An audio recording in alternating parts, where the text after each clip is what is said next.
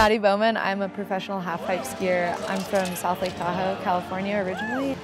Kind of one of the goals that I have in my career is to get more women involved in skiing and also help us push our skiing.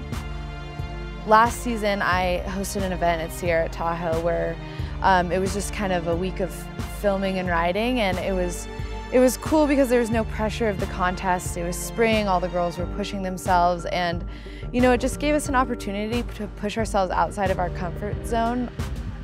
I think that, you know, that really helps all of us push our skiing and also at the same time reminds us of about how much we love skiing and also scaring ourselves a little bit.